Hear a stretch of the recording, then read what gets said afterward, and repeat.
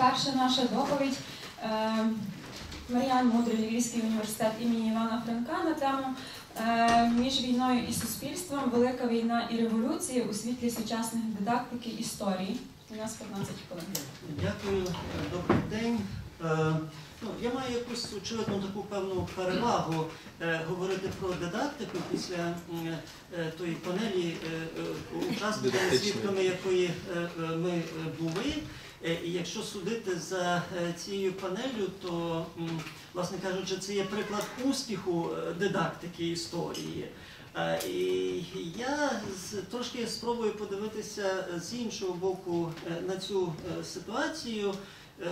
Відразу скажу, що справді тут в тому, про що говоритиму е, ключовими словами є дидактика історії, але е, в мене якесь таке враження, що я раніше краще знав, що це таке, ніж зараз. Можу сьогодні тільки сказати, що е, говоритиму про шкільну історію насамперед. І проблеми шкільної історії, і коли кажу дидактика історії, то маю на увазі не тільки те, що зафіксовано в підручниках, бо розумію обмеженість е, е, підручника, впливу підручника на формування історичної свідомості, але і ще маю на увазі е, ну, оцю всю процедуру, яка пов'язана з навчанням історії в школі, це і робота вчителя, і якісь регіональні контексти, медіапростір, який тут з'являється, і так далі. Відразу так десь може категорично е, скажу, що оцей зв'язок між академічним і публічним простором е, е, і публічними вимірами історії, якому підпорядковано ідея нинішнього симпозіуму, він досягається доволі складно. І е, оця історична дидактика на загал е, дуже погано дає собі раду на рівні школи з е, війнами, насильством, революціями, особливо ХХ століття. Це нюансування історії, яким ми тут займаємося, воно так десь разюче кон- контрастує з одномірністю шкільної історії. Е, Взагалі дидактика, е, шкільна дидактика дуже погано е, взаємодіє з поступом історіографії. І взагалі дехто вважає, що треба погодитися з наявністю двох історій академічної і дидактичної і історії. Ця перша, мовляв, має бути підпорядкована науковим завданням, а друга навчально-виховним завданням, але по суті вона має залежати, як ми всі добре розуміємо, е, від, від е, політичної е, кон'юнктури. Але чомусь, коли йдеться про те, на які історіографічні якби, традиції має спиратися та дидактична історія, чомусь береться за взірець і за основу оці такі версії з давнього минулого, фактично анахроністичні версії. В підсумку в шкільній практиці ми маємо таку, я би сказав, жахливу суміш е, е, народницьких і державницьких уявлень про, про е, наш, наше минуле. Я не належу до тих людей, які виступають за цей поділ і навпаки роблю все, аби цей зв'язок був якнайтіснішим, а і стягую на себе купу критики в зв'язку з тим. Е, Спробую спочатку трошки, е, е, можливо, виправдати цю дидактику, тому що деякі проблеми, про які я зараз кажу, вони, вони є цілком об'єктивними, скажімо так. Ну, перша справа полягає в тому, що в історичній дидактиці будь-які факти і, загалом сюжети вони не існують самі по собі. Так? В історіографії вони можуть існувати самі по собі, а в дидактиці такого, такого привілею нема. Е, Вони підпорядковані певним цілям, е, е, наперед заданим проблемам е, е, сьогодення. І фактично е, е, вони відображають напрям е, е, сучасного розвитку сучасного суспільства. Е, І йдеться не тільки про політичний напрям, йдеться про е, інтелектуальний напрям, навіть йдеться про етичний напрям. Тобто е, В будь-якому разі змістове наповнення шкільного курсу історії, воно є відображенням таким своєрідним нашим, нашим дзеркалом. Так? От, те, те, як ми говоримо в школі про історію, по суті, ми говоримо в такий спосіб про себе і, і аж ніяк не е, е, про минуле. І тут е, очевидно, що з'являються різні, е, різні варіанти, е, і, як краще себе представити в тій чи іншій е, ситуації. І ще одна обставина е, політика е, цієї пам'яті історичної чи, чи національної пам'яті, ми би зараз сказали, ми маємо. В останні роки таку трохи тривожну, як на мене, тенденцію зведення чи обмеження цієї історичної пам'яті до дуже вузьких сюжетів, як правило, це до Другої світової війни.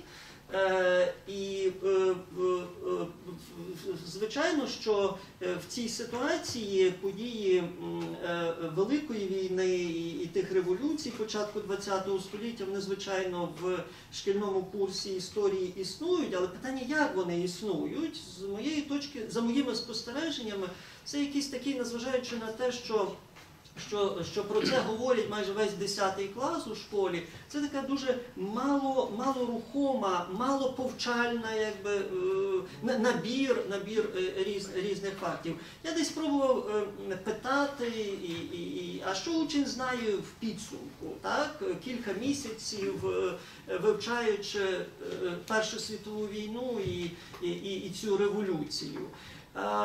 Як правило, Висновок є такий, чи образ, який е, виносить цей десятикласник, е, є приблизно такий, що це був якийсь неймовірний хаос.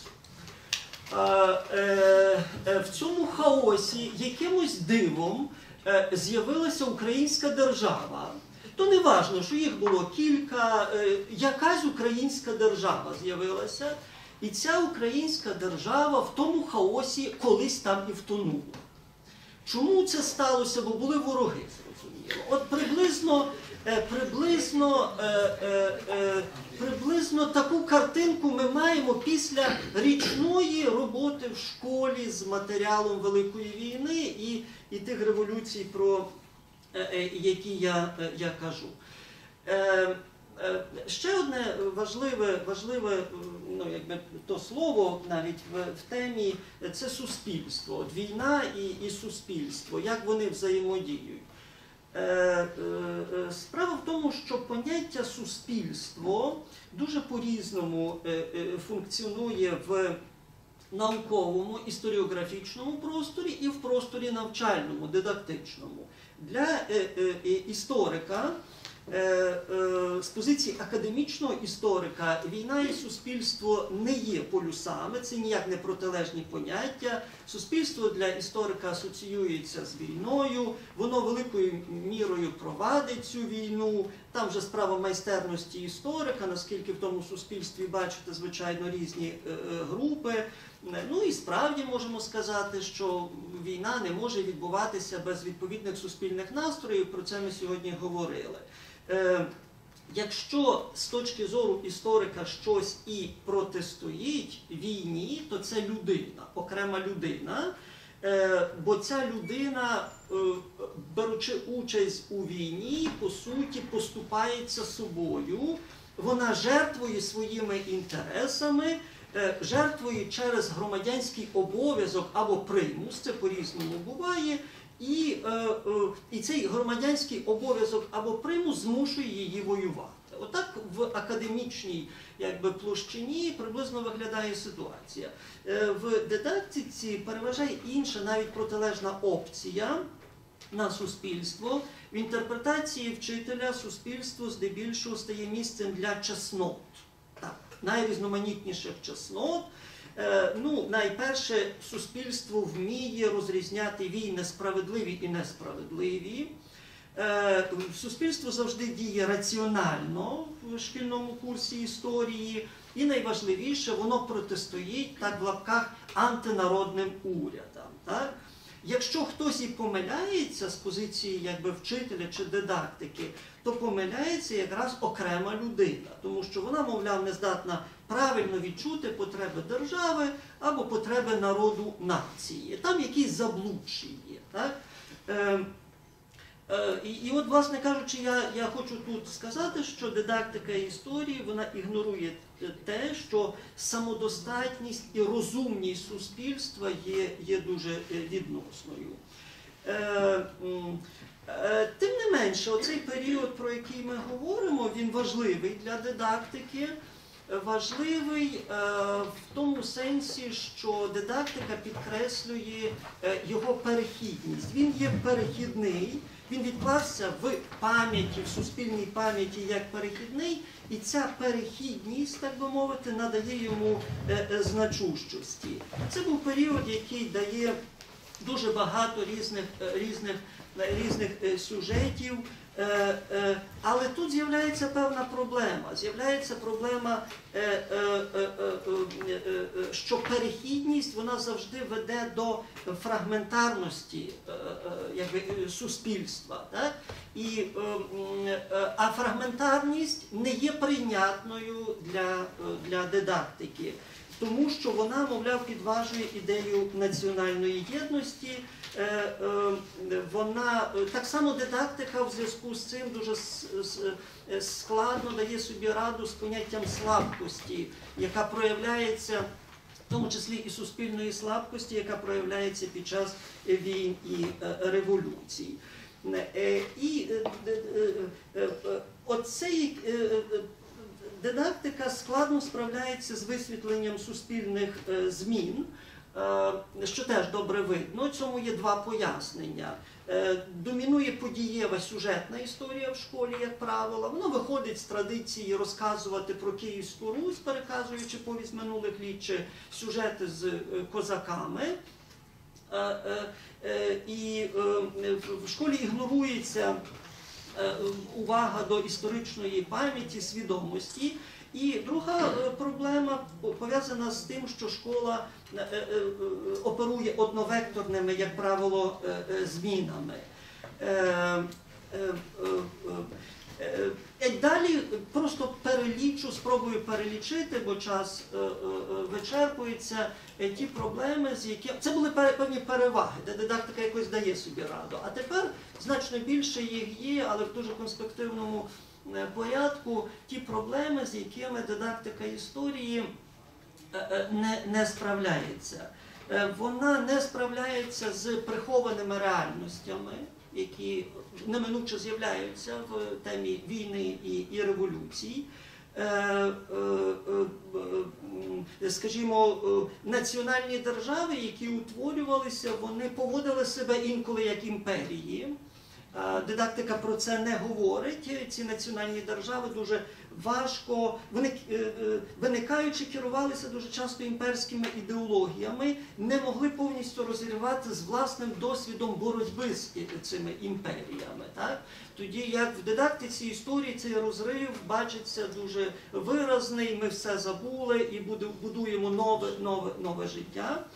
Е, Дидактика дає собі, не дає собі ради з е, темою е, насильства, абсолютно ігнорує той факт, що революції відкривають можливості, але створюють інші залежності. Е, Людина потрапляє в інші залежності. Е, Залежністю в часи війни і революції, особливо революції, ставала навіть свобода, е, бо революції нищили старі управлінські структури, і люди, цілі суспільства опинялися між світом, який вже знищено, і світом, який ще не народився. І невідомо було, де вони перебувають і як це пояснити. Е, е, Дидактика завужує тематику е, е, історичного цього простору до питань е, політичного устрою і національного тільки е, визволення. Е, Вона ігнорує несправедливі ієрархії, які з'являються під час е, війни і, і, і революції. Е, Дидактика історії складно дає собі раду з темою простої людини. Ця проста людина, звичайно, є, але вона є такою дуже специфічною, вона є правильною, але ну, якби десь ігнорується той факт, що ця людина може потрапляти в поле зміненої реальності під впливом якихось ідей, які з'являються, е, пропаганди і так далі. І тут е, можна би було пригадати е, цю книжку Крістофера Браунінга, як її там перекласти прості люди чи якось так. Так, це правда про Другу світову війну, але є пояснення, як ці прості люди вчиняють ці, ці злочини. Е, Дидактика погано справляється з темою руїнної енергії і бруталізації.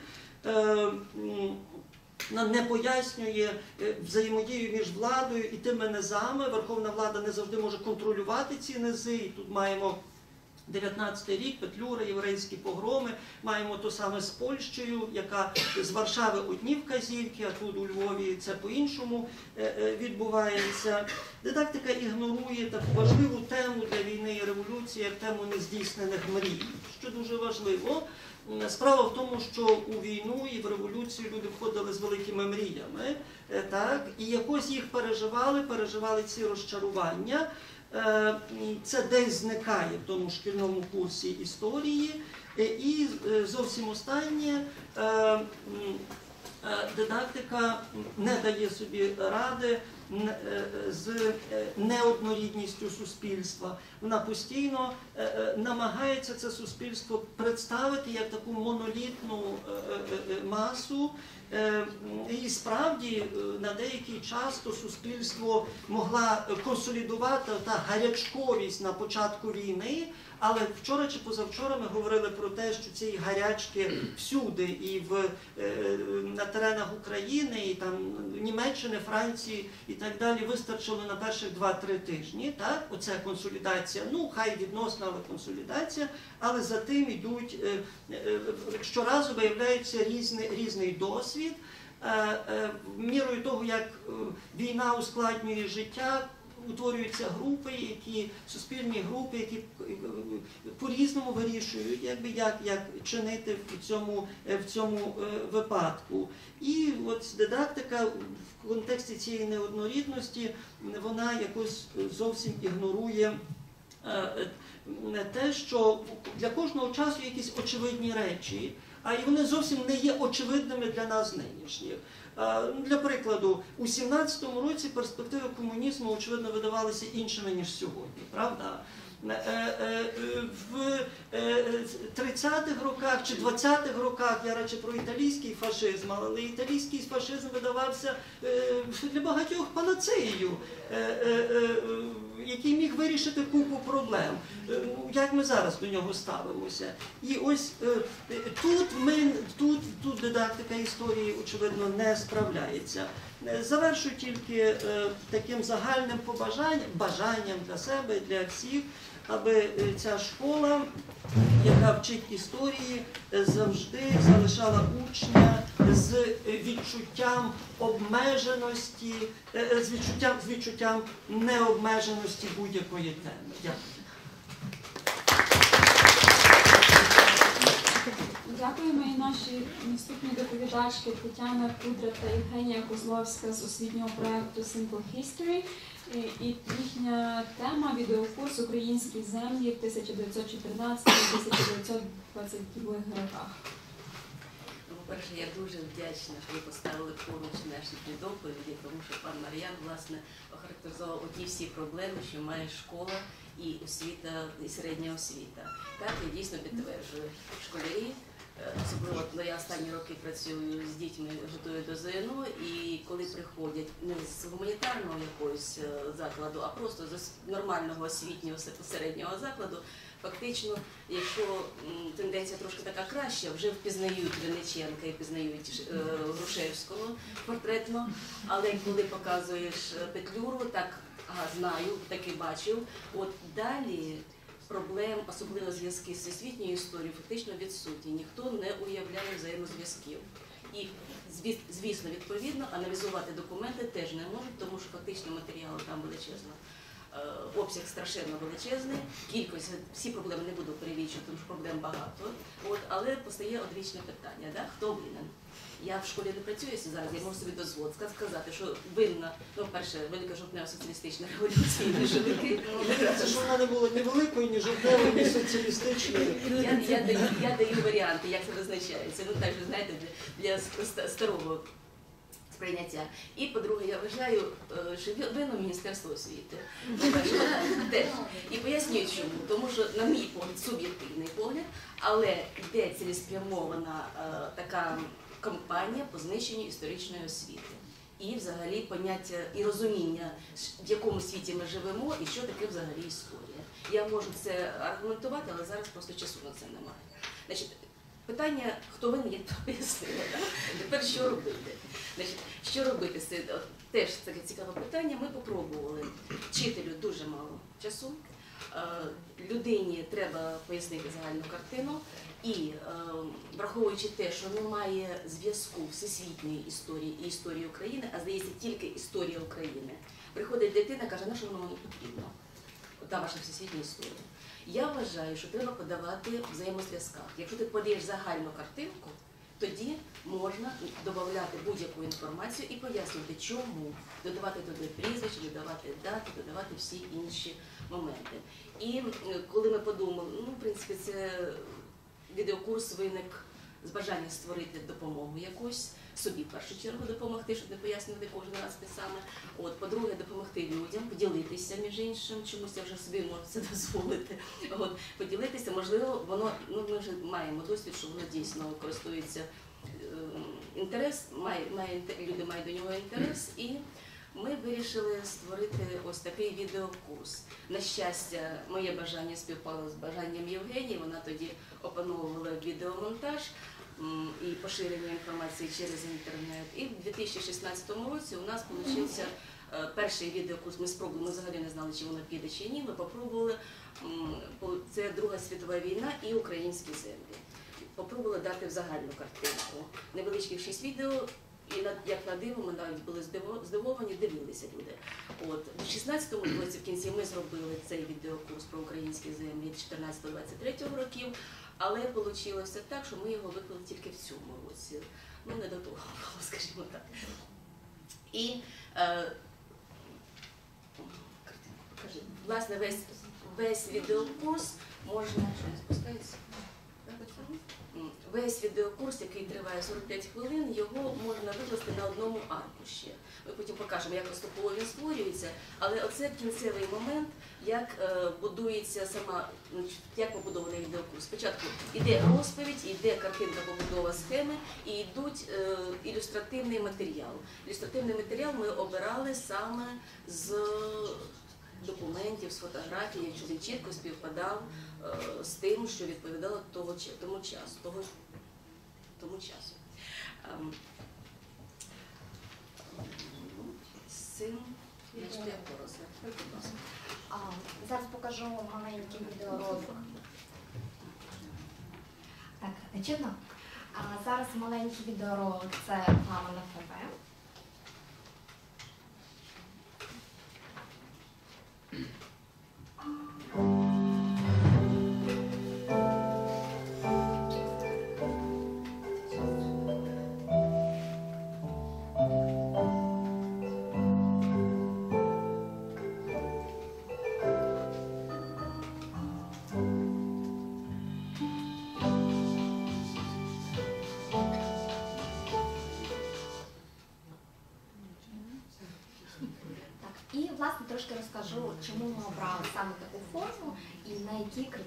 при розробці цього курсу орієнтувалися.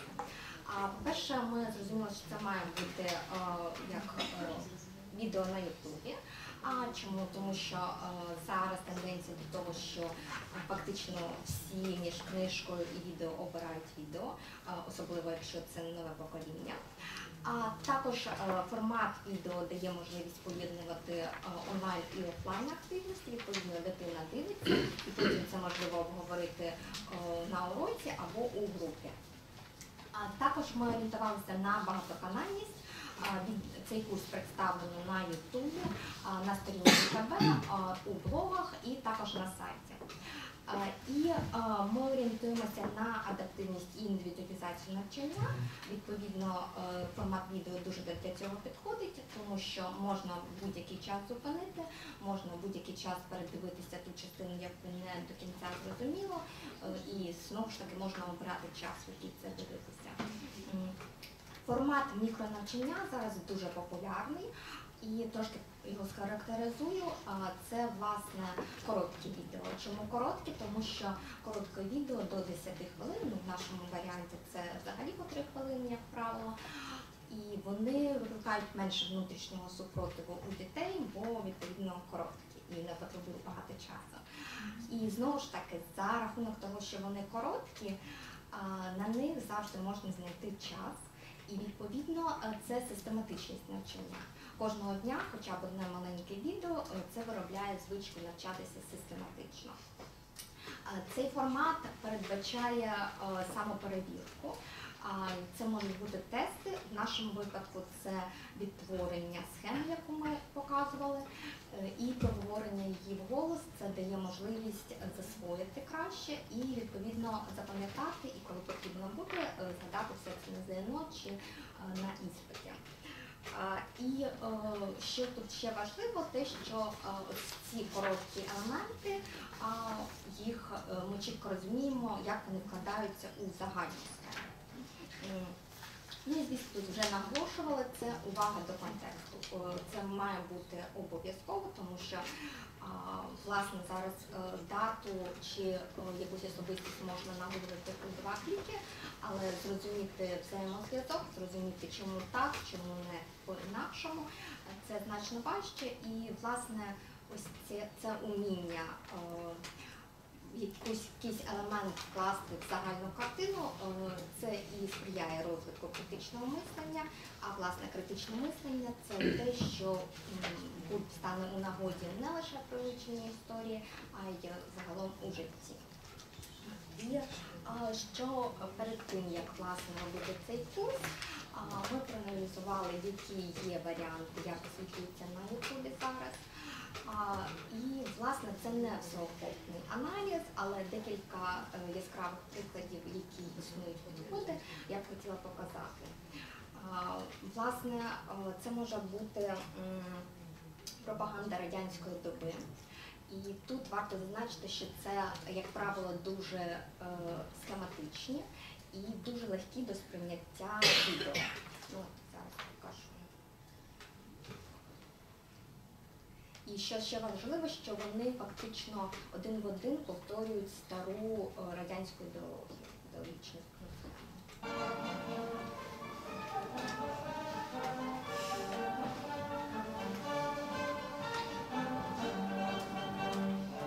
Це відео 2017 року.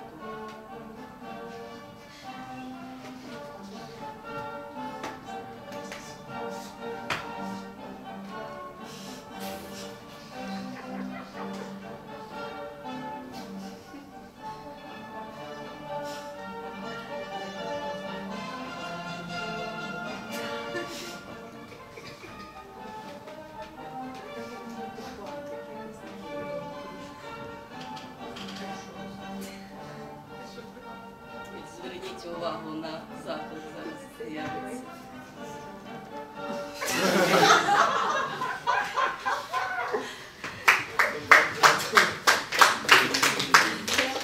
Один такий варіант.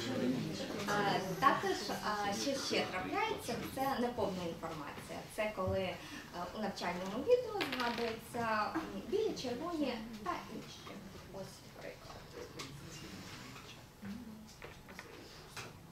В рядах белых оказались буквально все противники большевиков, все противники советской власти, от монархистов справа и до социалистов, меньшевиков, эсеров слева, включая либералов, включая представителей других идейных течений.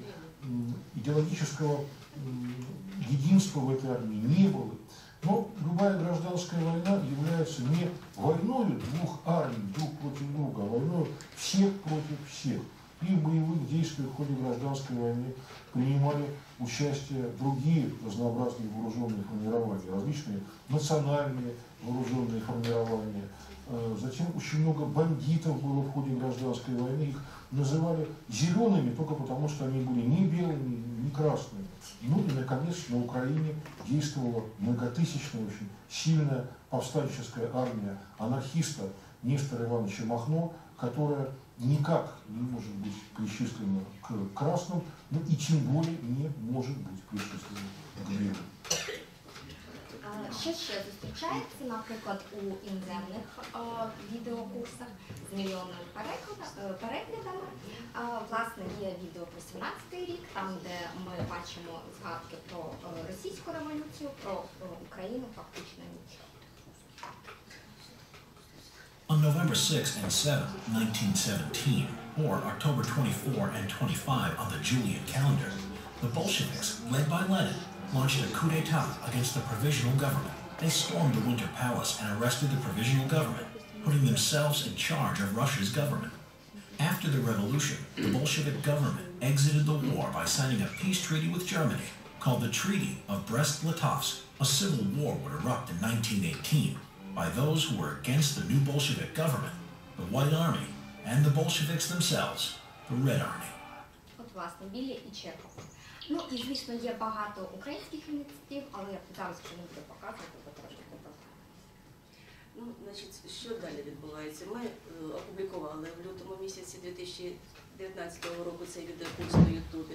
І зробити то мало, треба, щоб люди ще й дивилися. Тому ми почали поширити інформацію в Фейсбуці на блогах. І в результаті у нас, знаєте, якщо б це були анекдоти або стриптиз, то ну, нам були мільйонні перегляди. Але враховуючи, якщо оцінити, що це історична інформація, то ми вважаємо, що більше двох тисяч на Ютубі підписників це зовсім непогано за останні декілька місяців. І якщо мож- можна проаналізувати, що існує все ж таки е, зворотній зв'язок на Фейсбуці, то я знаю, що десь більше тисячі цікавляться це власне вчителі історії і з Кіровоградщини, з Херсонщини, з Донеччини і навіть Одещина є такі. Західний регіон е, Хмельниччина також цікавиться і Львівщина. В результаті нашої роботи е, ми протестували і на школярах, на тих, хто готується до ЗНО. В Києві декілька груп працює. В результаті виявилося, що просто дивитися недостатньо. Треба дивитися, записувати, проговорювати це діло. І в першу чергу дітям треба пояснити, що це не розважальний відосик. Вони на перервах дивляться відосики. Але коли я дала попробувати подивитися, вони подивилися російські і критично ще один момент. Е, В результаті цієї всієї роботи, е, коли дає вчитель окреслює спочатку всю ту картинку, можна потім і побутову історію, і історію однієї людини додавати, і оці всі проблеми показувати, і насильство, і хвороби, і всього іншого. Тоді можна працювати. Тому я вважаю, що наш відеокурс, е, ну я його відпрацьовувала і раніше, тому я вважаю, що він буде корисним, що буде, буде цікавити, люди будуть цікавитися цим. І ми на наступному вважаємо, що буде в нас натхнення, зробимо ще щось ще. Такий підсумок.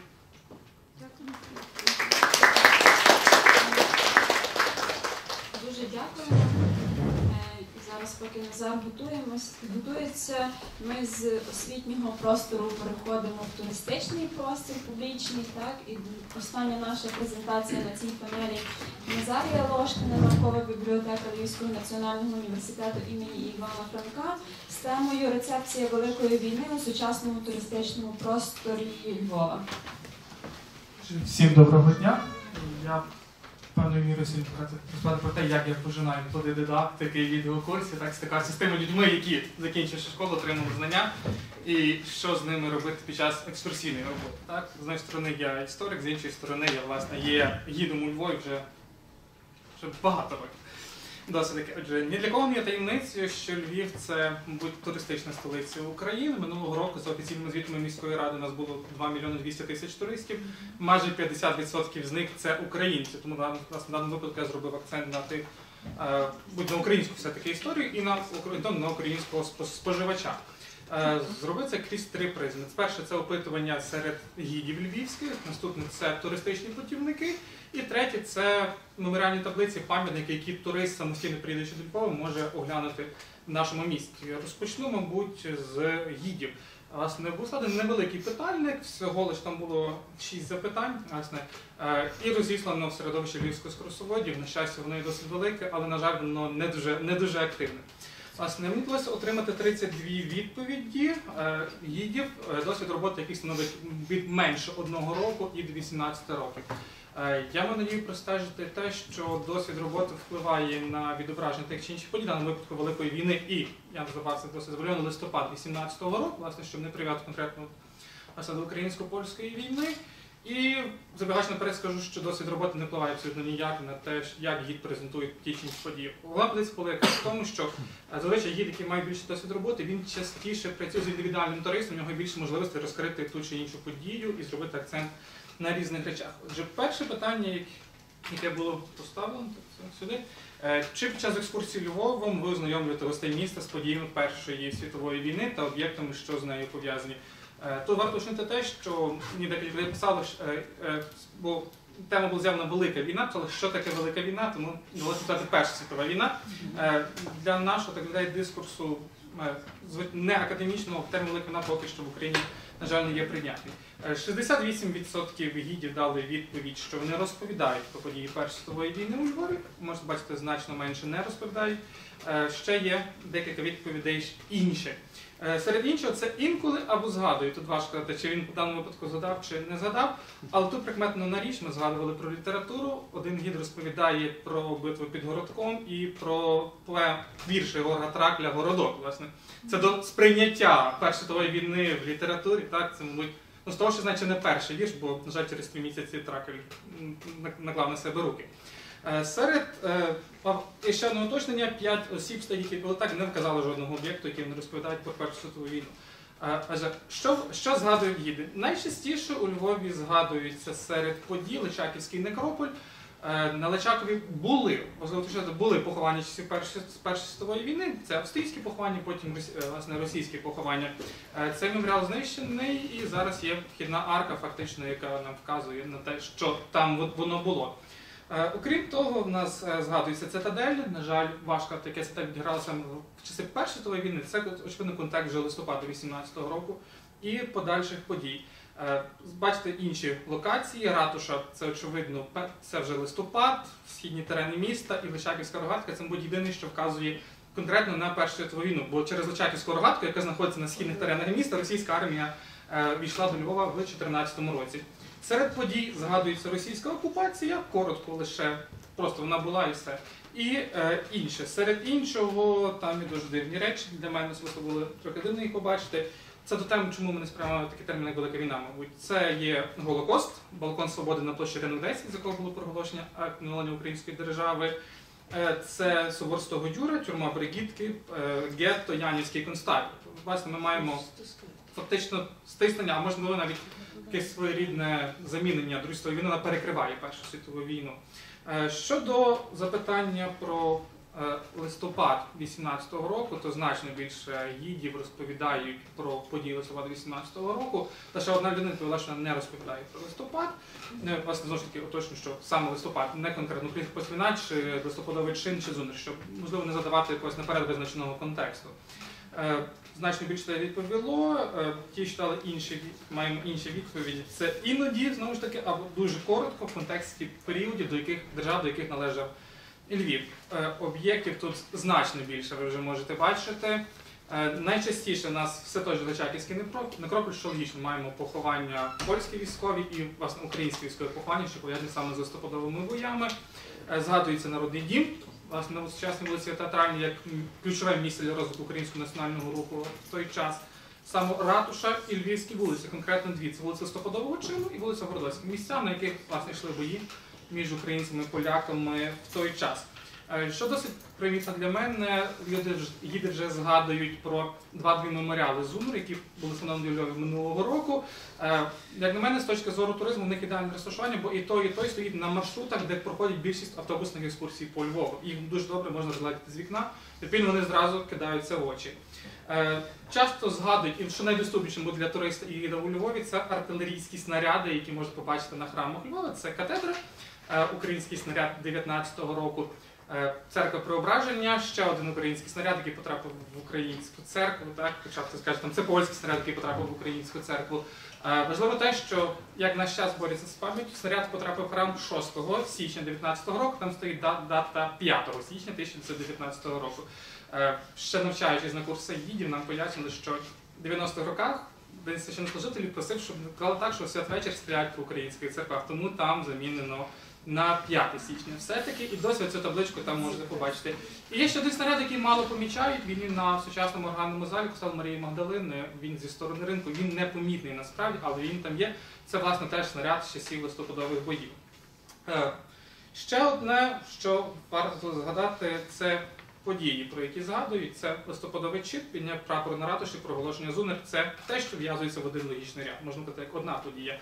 Е, В даному випадку бої за перемишль і російська окупація, причому даний респондент, не вказавши жодної події про Першу світову війну, він чомусь про розповів про російську окупацію. Тут може таки чи я можу або на неуважність знести, або знову ж таки не розрізнення хронологічно, що коли відбувається. І останнє запитання, яке було, чи на вашу думку, ви хочете з вашого досвіду робити, є запит в туристів на висновлення цих подій. Очевидно, що бі- май- більша половина сказала, що так, туристам цікава Перша світова війна і листопад 18-го року, значно менше відповіло, що ні.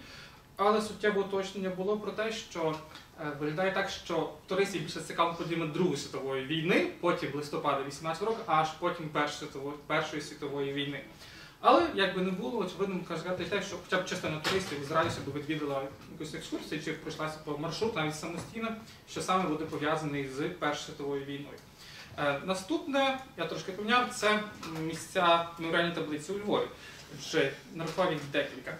Перше, ви можете бачити крайнє зліва, це табличка, яка висить на ратуші, що е, власне на ній було піднятий український прапор в листопаді 18-го року, і в 90-му році він піднятий навічно. Е, наступна табличка, якщо я не дослівно процитував, що навічно він піднятий. З правої сторони ми маємо таблицю з народного дому на вулиці Театральній про те, що цій будівлі була там що, було проголошено зунер 1 листопада. Перше, не в тій будівлі і не 1 листопада. Традиційно це типова помилка, яка зустрічається потім і в путівниках. Власне, пов'язується абсолютно не з тою локацією. Е, і два меморіали Західноукраїнській Народній Республіці. З лівої сторони бачите міський пам'ятник, з правої сторони обласний пам'ятник.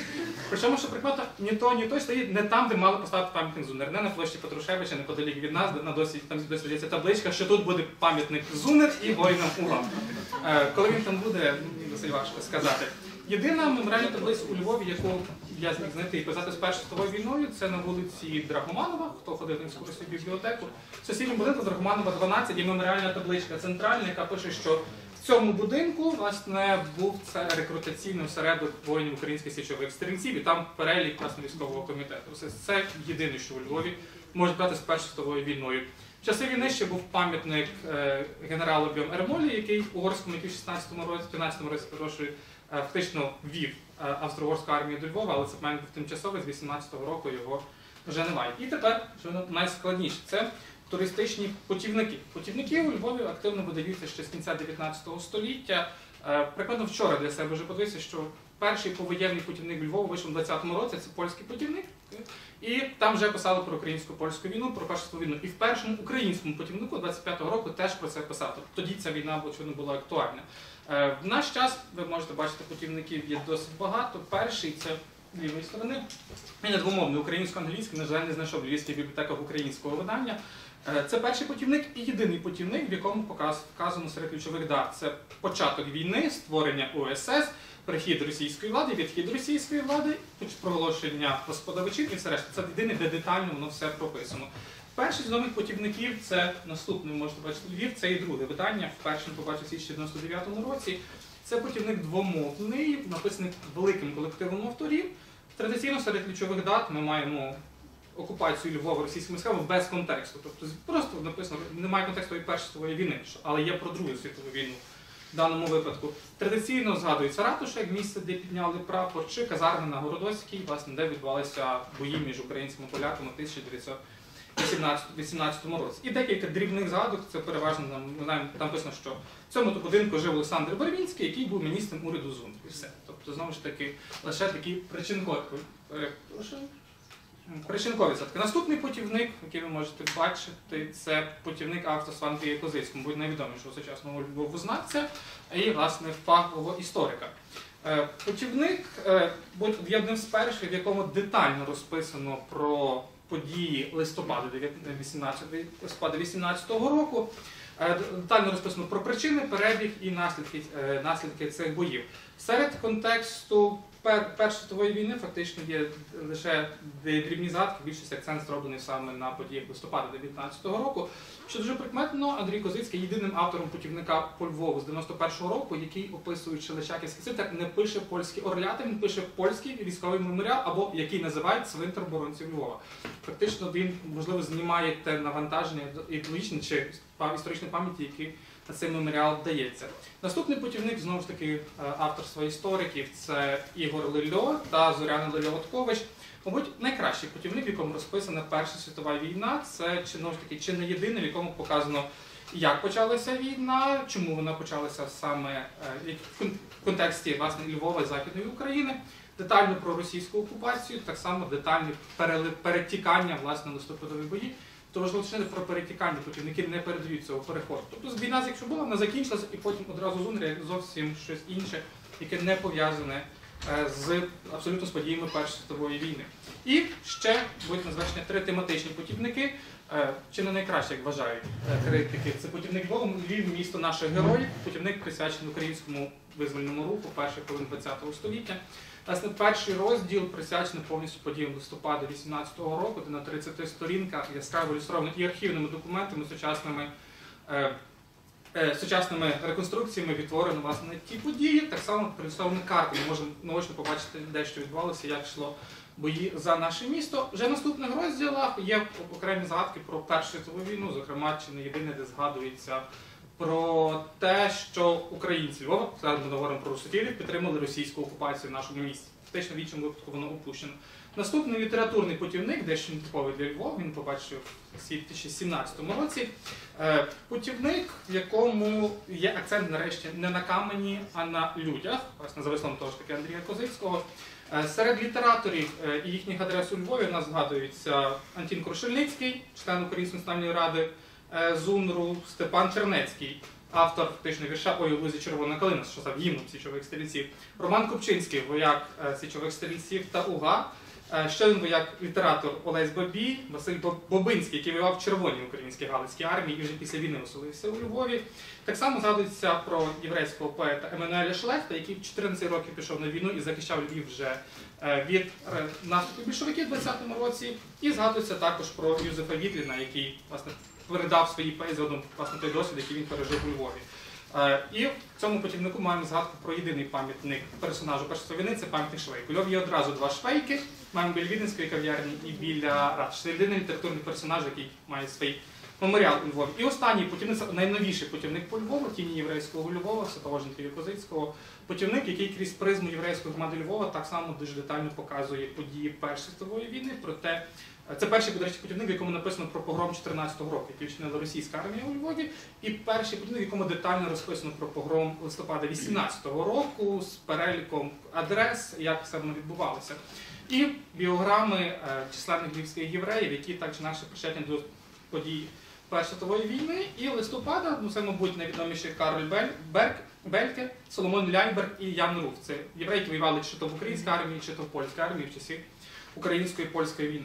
Як підсумок, е, варто наголосити, що фактично у Львові Перша світова війна перебуває в тіні листопада 19-го року, що простежиться абсолютно всьому. Чи в меморіальних таблицях, чи в путівниках, чи в роботі львівських екскурсоводів. Е, Ми маємо вже класичний спосіб репрезентації подій 14-19 років. Це класичні об'єкти Личаківський некрополь, ратуша, цитадель, артилерійські снаряди на храмах, але все так чи інакше пов'язано саме з листопадом, не з Перш- Першою світовою війною. Е, Також варто звернути увагу на, путівники. Фактично, перша війна поставлена тільки в тих путівниках, які писали історики, фахові історики, в даному випадку це Андрій Козицький, чи люди, які е, під його керівництвом працювали як редактора, чи і згаданий Ігор Лельо та Зоряна Лельо Готковий. Всі решта путівники фактично подають е, події першої війни, російську зряду російську окупацію, окупацію вирвану з контексту, абсолютно не пояснюють, чому вона відбулася і які вона наслідки мала для Львова і власне того часу. На завершення б підсумувати тим, що я маю надію, що відповіді гідні були щирими. Дійсно, в туриста є зацікавлення Першою світовою війною листопадом 18-го року, і сподіваюся, що е, у Львові буде робитися все для того, щоб Першу світову війну повернути до міської пам'яті. На цьому дякую. Дуже дякуємо. І зараз слово надаємо нашому дискутанту Тарасу Назаруку, який центром міської історії е, керує публічний проект е, карта так Львів інтерактивний, і в контексті якого був реалізований проект Місто на лінії про події 18 листопада 18 е, року у Львові. І має 10 хвилин. Дякую, напевно, дякую теж за згадку про е, проект місто на лінії. Напевно, з перспективи з досвіду е, створення цього проекту я теж е, буду давати якісь коментарі про, про ці презентації. Дякую доповідачам. Принагідно теж дякую всім учасникам конференції, оскільки за ці кілька днів симпозіуму я дізнався дуже багато для себе нового. За це вдячний. Е, При ознайомленні з трьома, трьома доповідями в цій панелі, кожна з яких е, в свій спосіб обговорює підходи до представлення історії, а також думкою про назву цієї панелі і як ми пізнаємо минуле, історія, дидактика і публіка в епоху нових медіа. Мені стало цікаво звернутися не лише до дидактики чи туризму е, довкола теми Великої війни. Е, Доповіді Мар'яна Мудрого, Тетяни Кудрі, Євгенії Козловської, Назаря, Назарія Лоштина мене надихнуло теж подивитись на ситуацію, в якій ця розмова про велику війну е, відбувається, і, і заодно поговорити заодно говорити споза, споза меж виняткової історичної дисципліни, на що публічна частина симпозіуму більш ніж дозволяє. Е, В всіх трьох випадках е, доповідей ми говоримо про трансляцію певного знання до певної аудиторії з певною метою. Е, Таким чином, всі три доповіді зачіпають концепцію комунікації. Тому я пропоную погляд на історію загалом та історію Великої війни, зокрема, як на простір комунікації, в якому дидактика та туризм є актами комунікації. Одним із актів, але не єдиним. Е, Письменниця Ольга Токарчук е, називає творців таких актів комунікації свого роду гермесами, е, посланцями між світами і контекстами. До таких гермесів ми можемо віднести і письменників, перекладачів, журналістів, звісно ж, істориків, вчителів, гідів. Кожен свій спосіб формує та обслуговує суспільну комунікацію в просторі та часі, як між містами, країнами, соціальними групами, так і також і між минулим і сучасним. Отже, чим є історія з цієї перспективи? Е, Чи може історія бути простором для успішної комунікації? Е, Що таке, зрештою, успішний акт комунікації, коли йдеться про минуле та про насильство? Вочевидь, це не акт комунікації, який веде до насильства. То до чого він має вести? І чи має історія взагалі бути комунікаційним простором, який веде чи не веде до чогось, е, окрім, окрім успішної здачі ЗНО, звісно? Концепцію комунікації часто визначають однією з ключових у ХХ столітті. Вона продовжила ідеї багатьох попередніх утопій про ідеальні суспільства. А ефективна комунікація е, визначена як така, що відбувається, коли настає, настає розуміння. Проте люди за своєю природою приречені на, на, на недосконалість комунікації. Е, Джон Дарем Пітерс у своєму дослідженні історії ідей е, цього явища зазначає, що комунікація, що б вона не означала, це не справа покращеного устаткування зв'язку чи вільнішого самовідкриття. Вона включає в себе неминуче е, спотворення в самій людській сутності. Відтак, акт комунікації можна розглядати як такий, що в своїй природі несе невдачу. Його складовими в будь-якому випадку можна визначити таке: присутність мовця, е, висловлене ним повідомлення та реципієнта, аудиторії. Історія, попри свою науково-академічну природу, є комунікаційним простором, що е, первинно все ж базований на вже утверджених поглядах мовця.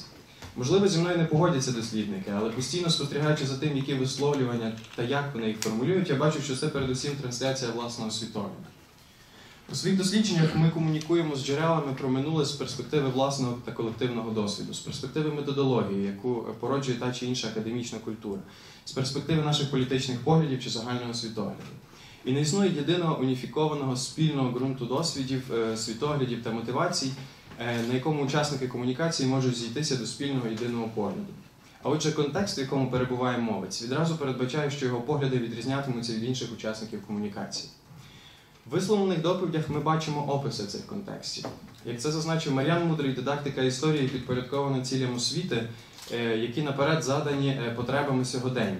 Е, А отже, суть повідомлення щодо висловлення сформована рамками потреб сьогодення. До речі, що, що ж первинно визначає ці потреби, а також мотивацією навчити.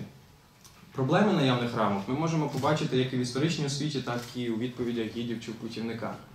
Передусім йдеться про те, що вони поміщені в простір уявного, як от е, тема нездійсненних мрій про утворення власних національних держав. Вони також перебувають в дихотомії власного правильного та ворожого неправильного насильства. Перенесення сучасних уявлень на тогочасний стан речей, е, присутній спокусливий пошук аналогій між сьогоденням та минулим, романтизація періоду конфронтацій та насильства тощо.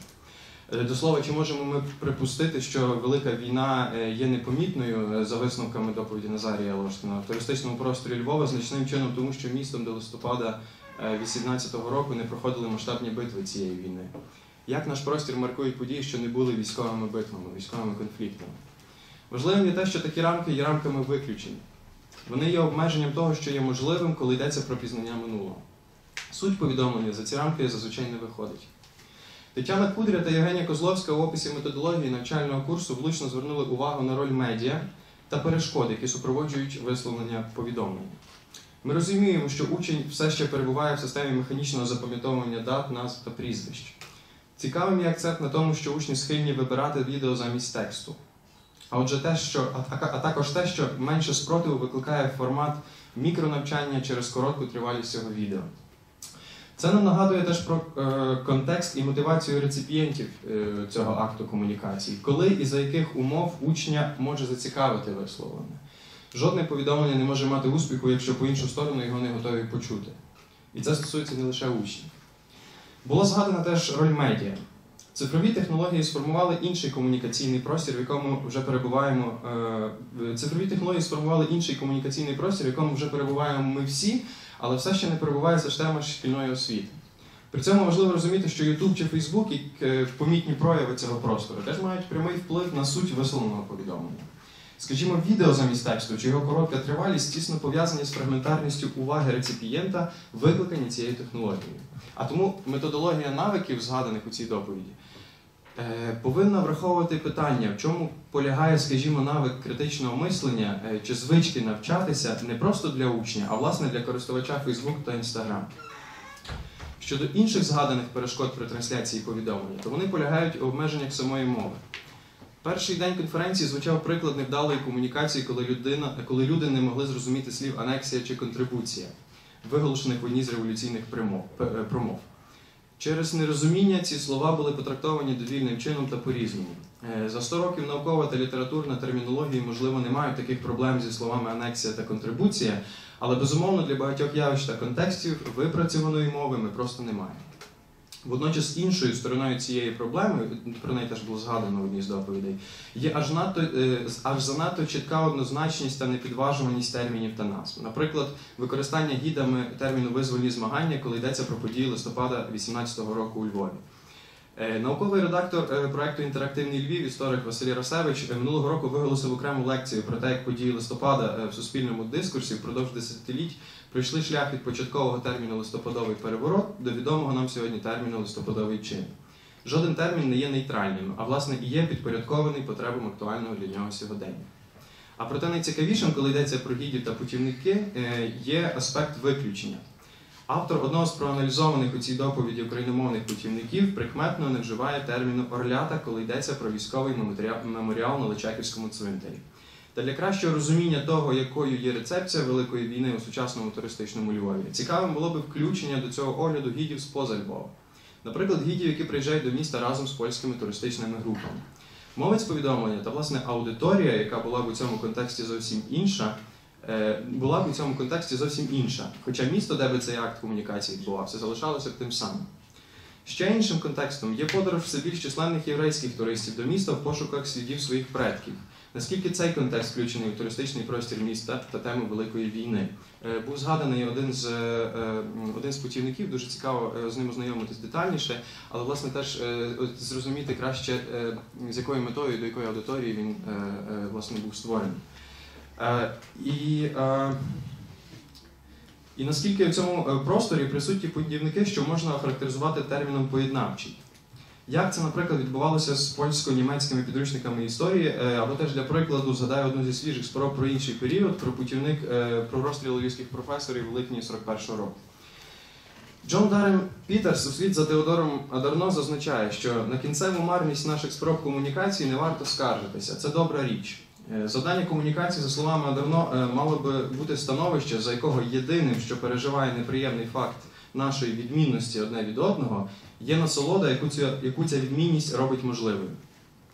Іншими словами, успішна комунікація це не коли всі висловлюються однаково, а коли присутній простір до сприйняття іншості. В письмових тезах своєї доповіді це влучно зазначив Маріан Мудрій. Дидактика повинна щоразу залишати відчуття необмеженості теми. Е, Для підсумування маю загальне і дещо риторичне запитання до доповідачів про те, наскільки історія, е, особливо коли йдеться про конфлікт та насильство, щось, що за визначенням містить ефекти невдачі комунікації. Наскільки історія мож, може бути комунікаційним простором, в якому можна бути почутим і водночас мати здатність або ж виробити навики почути інших. Дякую. Дякую, Тарасе, за такі змістовні коментарі і запитання. Але зараз ми колекціонуємо так, питання аудиторії до доповідачів. Чи є?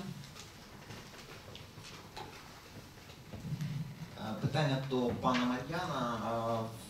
Вивчаючи власне от е, дидактику для 10 класу, яке у вас складається враження, чи вписана якби кримська історія до такого наративу загальноукраїнського в сучасних підручниках? І чи достатньо вона вписана, якщо е, вона вписана? І власне питання до е, вас, як е, творців цього курсу відео, Е, Яке місце Криму ви приділили в своєму відеокурсі? Чи є запитання?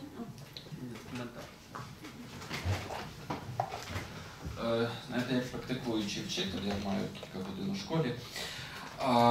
Можу сказати, що е, теперішні підручники, е, мені здається, навіть і ті підручники, які невдовзі можуть появитися, вже в школах не працюють. Е, Відео це трошки краще, ніж підручник, але таке відео, як мені видається, теж не працює.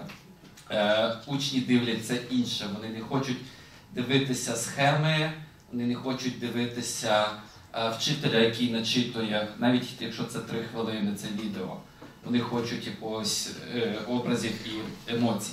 І е, все-таки до, до, е, до підручника мені видається, що можливо нам час подумати, чи не варто відмовитись від підручника як такого взагалі з історії. Чому? А, відсутність підручника спонукатиме вчителя до більшої творчості. Він зможе знайти кілька позицій, кілька текстів, кілька відео і запропонувати учням і самому собі щось. Так? І це буде давати, показувати множинність точок зору на ту чи іншу подію. І це вже буде залежати від учителя. Якщо він перебуває школа десь поруч із центром міської історії, то він візьме когось звідси, приведе до себе, щось покаже. Якщо він перебуває десь у себе в селі, то він там знайде інше джерело, на прикладі якого зможе щось показати. Але за умови, що в нього не буде підручника. Якщо з, з міністерства не буде йому такої вказівочки, іди за підручником. Дякую.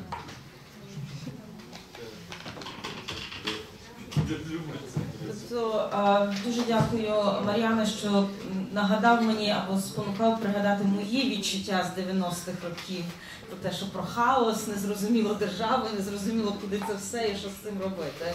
Тобто якісь такі. Але просто хотіла запитатися, як е, чи ви бачили, чи які є можливості працювати також з концепціями в школах? Тобто не казати така держава, така держава, взагалі чим є держава. Оці такі речі, які в принципі нам потрібні, нам зараз потрібні. Що таке держава? І тут е, десь вчора, напевно, е, пролунало в е, Сергій згадав.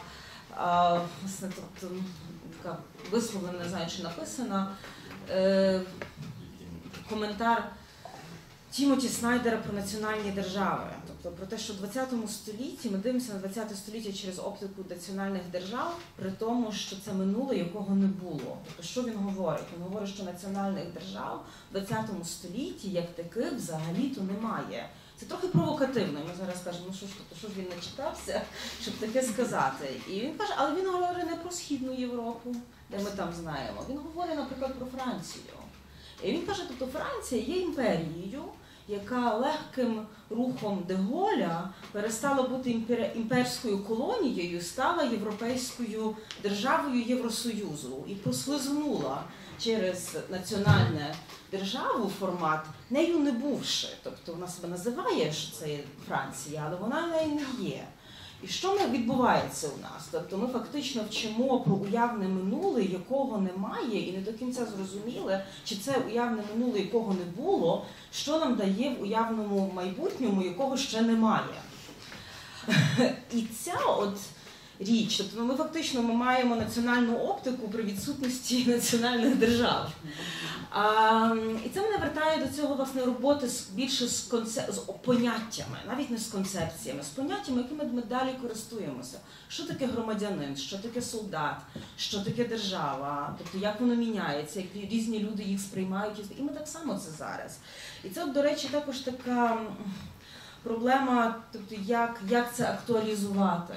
Я думаю, що в Тобто, як, як робити от, особливо в відеокурсах, особливо, напевно, коли ми говоримо з а, а, соціальними медіями, де ми так швидко переходимо на сучасні аналогії. Ми вже це кілька разів робили в цій конференції, і, а, і воно так дуже хочеться, але воно так дуже також страшно, як це. Е, Як це працює, і наступне не знаю, просто питання взагалі. Тобто є ЗНО з історії. Я тобто я можу, тобто є. Історія Так, і питання, тобто, взагалі, чи воно потрібне. Тому що я пам'ятаю, коли ми робили іспити, ці, тобто це є, е, мені здається, що воно взагалі не потрібне. Тобто, це не... історія не потрібна в школі взагалі. Ну, тобто це таке питання, бо тому що це тут, дуже боляче, яка історія потрібна. Тому що я пам'ятаю, що це здається тестово. І тести, тобто історія як тест через тести мала свою причину в 90-х а, і в 2000-х. І вона взагалі зараз, можливо, ця причина якось відпадає, і чи вона, і чи взагалі ЗНО потрібно як цей набір текстів і зав- завчених дат. Е, При цифрових технологіях, які ми маємо, і ми кожну дату, яку захочемо, можемо зрозуміти. У нас є проблема. І ще супер останній, який вік ваших глядачів? Не тих, які великі, а ці, яких є це є 10, 12, 13 років, то які дивляться ваші відео по історії Simple History. Тобто це їм 13, 14 років, 15, 16, і взагалі вікова категорія. Це 10 клас тільки, так? Знаєте, Все, і не тобто там. Можна відповідати? Думаю, що є питання. Ще є питання тут і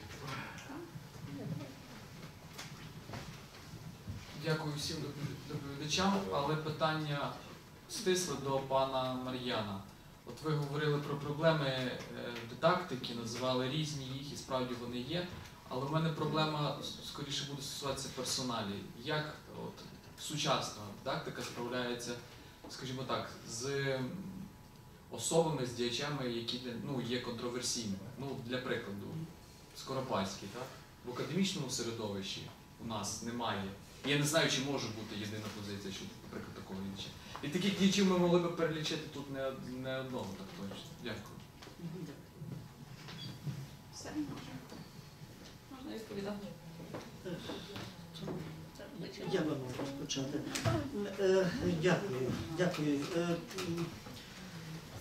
Е, Я, я може розпочну від пана Тараса Назарука, е, трошки коментар до, до, до коментаря. Е, Дякую за, за дуже гарне таке представлення цих доповідей. Воно би може і пасувало на початку цих доповідей, і багато би вже пояснювало, і тоді е, е, ми б з регламентом е, могли впоратися ще краще. І тільки невеликий коментар про комунікацію і трансляцію власного світогляду. Тут я би просив не забувати, що коли йдеться про шкільний курс історії, ми починаємо з норми, ми починаємо з стандарту.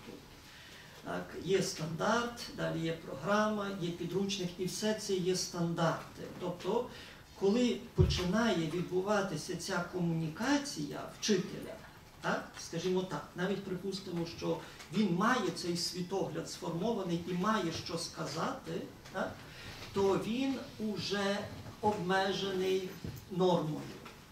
І він каже приблизно так: діти, там в підручнику написано ось це, програма нам каже робити це, але я так тихенько можу вам сказати, що може би інакше якось можна було зробити. Отже, ця норма, вона є, е, вона, вона, вже, вона вже діє. Е, Це одна проблема, проблема норми. А друга проблема це проблема е, підготовки вчителів. Було опитування, і вчителів питали, я так дуже грубо скажу, ну просте банальне питання. Прошу, просимо е, е, сказати, чим ви займаєтесь? Вчителів історії. І результати жахливі. 30% вчителів не змогли відповісти на це питання. А це означає, що вони приходять в клас і не знають, що вони там роблять. А це ще далі можна піти. Вони не мають що сказати. І вони відштовхуються від цієї норми. Виявляєте, приходите в клас і невідомо чим займаєшся. Якісь дати розповідати, щось говориш, але чим ти займаєшся, сформулювати не можеш. 30%. Це в межах, в межах України. Польсько-німецькі, ще німецько-французькі підручники. Так, такі спроби були. І працюється вічна українсько-польська підручникова комісія, яка відбула 21 засідання без жодного результату. А- е, були створені, якісь результати є, наприклад, польсько-німецькі і німецько-французькі. Але справа в тому, що вони не використовуються в шкільній практиці, тому що вчителі сказали, що вони не годяться для навчання. Бо в ході цих переговорів повикидали усе емоційне, все людське, і воно надається тільки до коша. Е, е, Так, тобто це був акт політичний, і він не перетворився в навчальний навчальний. Вони звели до якихось коротких періодів, навіть не справилися з ширшими періодами. Так? Викидаючи все, що могло ділити. Але ж ми добре знаємо, що функція історії не тільки об'єднувати, але й ділити так? чи пояснювати, пояснювати ці поділи, чому існують конфлікти і так далі. Отже, е, були підготовлені такі посібники, які виявилися абсолютно непридатними до, до використання в школі. Е, Тепер конкретне питання по кримській історії. Так, в нових програмах, які зараз, от в програмі 17-го року, які втілені зараз в підручниках 10 класу, це різні підручники. І зараз хочу сказати, що є не тільки історія України всесвітня, але є і творення курсу, який називається інтегрований історія Україна і світ. Е, Там сюжети е, кримські е, є. Е, Що, е, е, що тут, як би так за відчуттями можу сказати, що вони так трохи в тих підручниках, і багато що в підручниках трошки механістично поєднане. Так? Тобто ем, нема цієї глибини, яка з'єднує цю, цю історію, показує ці зв'язки. І очевидно, тут в 10 класі вже пізно про це говорити. Треба, напевно, починати про з 8 класу, може ще й раніше, від козацтва, від е, 8 класу, такої дуже козацько-центричної версії української історії, де е, е, е, татари е, постійно зраджують, невідомо кому вони винні там щось були, е, так, е, і, і так далі. Тобто є вже певний стереотип. І в 10 класі е, учень, за моїми спостереженнями, е, е, е, ну так якби мовчки, а беземоційно сприймає цю кримську історію. Я, я от, от, знаходжу слово якесь. Вона є, ці сюжети є, але вони є штучними, і учні якось беземоційно, вони їх не, не чіпають. Так? А що треба зробити, щоб зачіпали?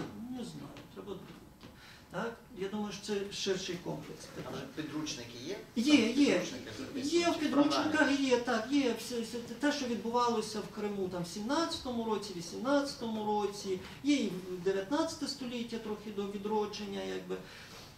Кримсько-татарського цього апелює. Тобто і прізвища є, і ці інституції, які з'являлися, є. Але сенси, але сенси, сенси, вони наразі є штучними, так, ці, ці, ці вставки.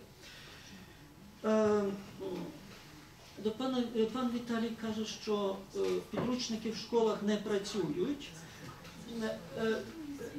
Ну, я так скажу. Знову ж таки, проводили якісь певні опитування, і я завжди кажу не перебільшувати значення підручника, не абсолютизувати їх. Вчить не підручник. Підручник це інструмент, звичайно. Без вчителя підручник нічого не вартує, навіть якщо він найкращий. Звичайно, хотілося б, щоб він був дуже добрий. Е, е, Пробували виразити той вплив підручника на формування цієї е, історичної свідомості якось в цифрах. І виходить таке, що от коли ми візьмемо оцей комплекс уявлень учня про історію, про минуле і так далі за 100%, то в середньому підручник визначає десь 15%. Е, 15-20%. Е, е, Ну а де інші 80 чи 85? А інші, а інше це є робота вчителя. Да? Бо вчитель є авторитетом. Ну, е, ми маємо дуже простий приклад в сучасній Україні е, і в Криму, і е, на Сході працювали однакові, були однакові підручники, підручники е, Федора Григоровича Турченка, добре відомо. Е, Да, який, я його і питав, але він не, да- не мав відповіді на це питання. Я, я як так стається, що вони працювали по-різному. По одному вони працювали у Львові, але протилежно вони працювали в Криму. Так? Ну, працювали не підручники, працював вчитель, очевидно. Далі є медіа, є контексти, є родинна пам'ять, ну є купа інших речей. Тому вчитель, заходячи в клас, він має розуміти, що підручник це тільки невеликий сегмент, інструмент так? в, в його руках. Е, Тобто він в якомусь сенсі працює, але е, тільки в руках вчителя. Чи можливо відмовитися від підручників? Ну такі ідеї були. Такі ідеї були на, на зламі 19-20 століття, особливо активно вони поширювалися в Німеччині. Вони тоді е, значить, ці ініціативи були пов'язані з подоланням імперського погляду. Мовляв, імперії тиснуть, давайте ця імперська історія зафіксована в підручники, відмовимося від підручників, почнемо вчити історію на, за, за джерелами, навіть за літературою, інколи художньою літературою, вибудовуючи її в певній там послідовності і так далі. Це була така теж політична акція. Ну, особливим добром вона не закінчилася, тому що почалися е, системні збої, я би так сказав. Тобто якийсь підручник десь має бути. Але як розуміти цей підручник? Підручник інформує, підручник розповідає, підручник пояснює. Так, різні типи підручників можуть бути. Зараз ведеться робота. От, випадку тих підручників 10 класу, які з'явилися паперово щодо створення електронних підручників. Міністерство оголосило конкурс на електронні підручники. Той підручник історії України і світ, до якого я причетний, і там він картинки от з'являються, з'являються коротенькі сюжети, і з PDF-ки можна буде вже відразу їх собі е, дивитися до 10 хвилин. Тести з'являються ті самі, і вже тицяючи можна відразу бачити, правильно чи неправильно ти це робиш і так далі. Тобто вони стають такими, от, от в тому напрямку, очевидно, це буде відбуватися. До цього можна тільки додати, що я підтримую концепцію підручника як історіографічного явища. Тобто не можна однаково все, все написати. Як мені зараз е, кажуть, е, міністерка казала, дзвонять. Ну і дзвонять і пишуть, але війна. Давайте всі, е, е, всі, всі автори підручників однаково напишемо про війну, яка зараз відбувається. Так? Я не буду в деталі, тому що це предмет для моїх спогадів, очевидно. Е, е, е, не, не, далеко не все можу, можу, можу зараз сказати. А, е, от, але давайте однаково напишемо. Що значить однаково? Так? Хто буде визначати, як це однаково треба написати? Так? Е, е, Отже, е, е, е, підручник має бути авторським, тобто там має бути автор, який має щось сказати. От комунікувати, як пан Назар каже, е, пан Тарас каже, е, е, комунікувати з, е, е, е, з учнем і з вчителем.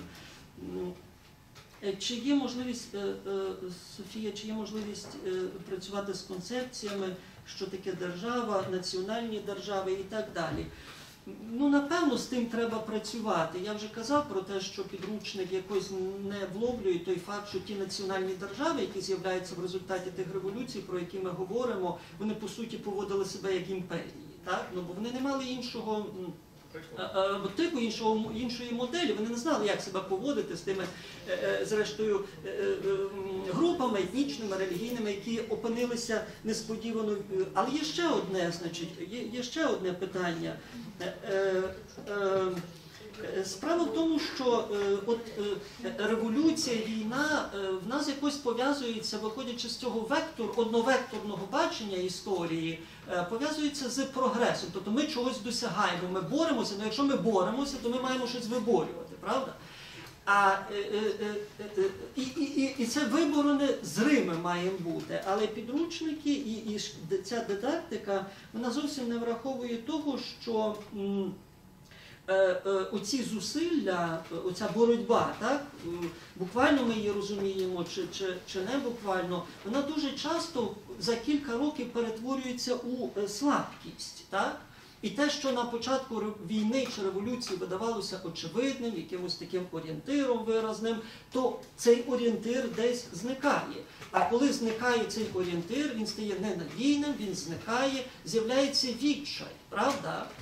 І, е, і те, що відбувається з українським навіть суспільством після, е, після цих війн і революцій, це, це, це, це там і елемент відчаю є. Якщо відчай, то є радикали, є радикалізація. І ця радикалізація, е, ці радикали знову пропонують дуже чіткі орієнтири і впевнено провадять до Другої світової війни. Так?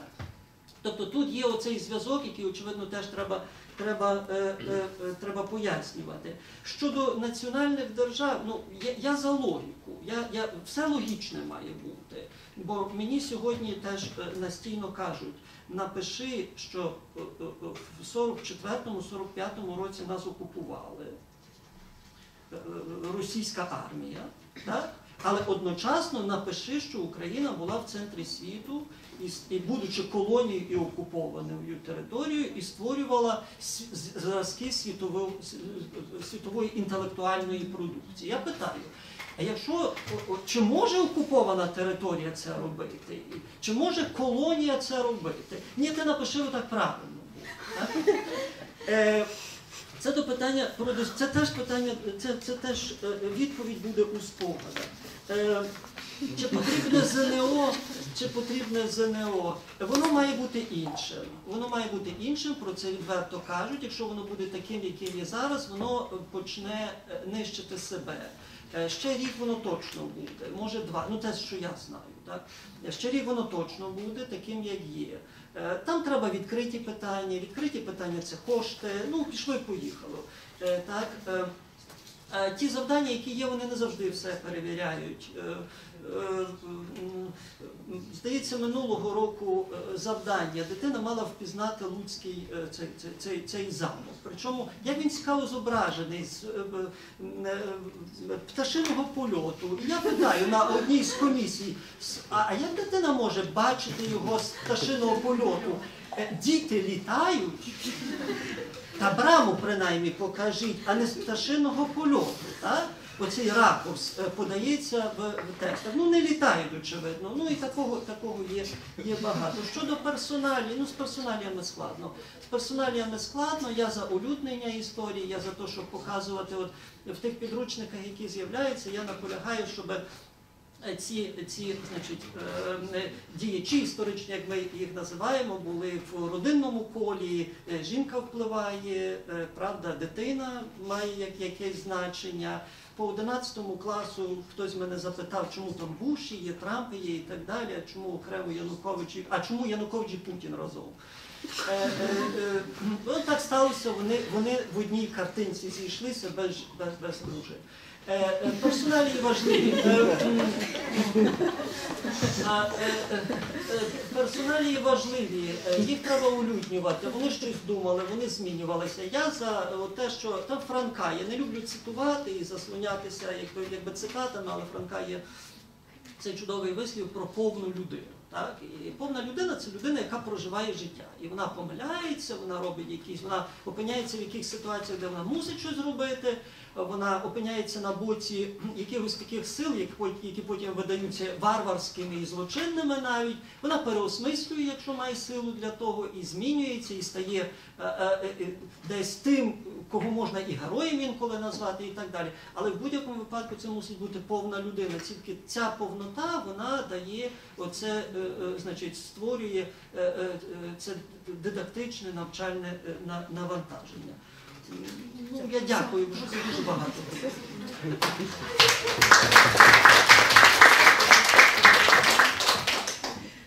Я дуже, я дуже коротко. Значить, по першому питанню, що стосується на Фейсбук, Фейсбуці критичне мислення, значить, Фейсбук це доросла аудиторія, як правило. Для того, щоб сформувати критичне мислення, спочатку поширюється, так як я це бачу, спочатку поширюється відеокурс, потім е, можна, це має бути спланована, цілеспрямована і систематична робота. Для того, щоб люди включилися в критичне мислення. З того, що я зараз бачила, спочатку дивляться так, нормально. Потім, коли ставиш якийсь пост, окрему фотографію, теж дивляться, відмічають, чи подобається, чи не подобається. Коли, коли задаєш питання до того, підштовхуєш людей, значить, е, є іноді реакція. Але якщо сформулю- сформулювати дуже провокативне питання, от тоді набігає багато народу і починають висловлюватися. Розумієте? І сказати, що ти провокуєш. Провокуєш скандальчик, так? Але з другого боку він підштовхує і показує, як люди спри... як люди сприймають інформацію. Іноді, ну в цьому році я так пробувала активно поцікавитися, є групи вчителів.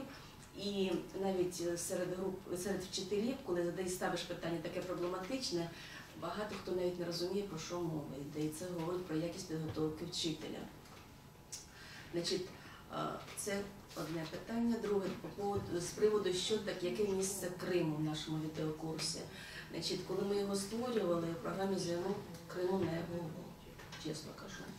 Ем, Редакція цього року, ось наступний рік програма ЗНО Крим поставляли скрізь, починаючи від е, дав- давнини і закінчуючи Ахмед Ханом. Всі вони там є. Значить, е, ми розуміємо, що у нас є перспектива для роботи, треба додавати. Але е, дуже коротко, що стосується відеокурсу, ми ні в якому разі не претендували на загальну картинку. Ми, е, я підкреслила, що це 45 хвилин, тільки один урок. Коли створюєш систему координат, про що ми будемо говорити з дітьми, коли вони знайомляться, що таке гетьманат, що таке центральна рада, тому що багато до мене приходить іноді, не- розрізняють, що це таке. Їм, їм однаково, що директорія, що, що центральна рада, абсолютно. От якщо ти створюєш систему координат в історії, тоді можна додавати і джерела, тоді теж можна додавати і походи в музей, тоді можна багато чого додавати, але це все час. І ми просто оцей відеокурс стали задачу зекономити час, а потім вже працювати. Що стосується віку глядачів, значить.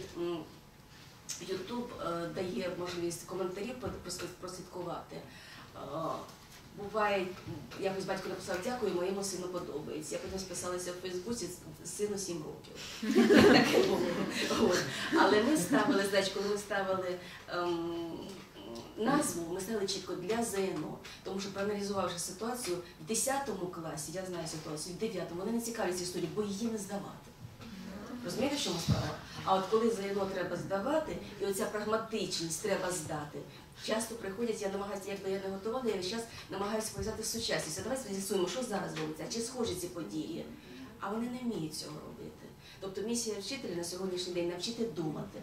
На жаль, програма шкільна цього не дозволяє, якщо вчитель сам не захоче. І ті підручники, так я теж починала з підручників Турченка.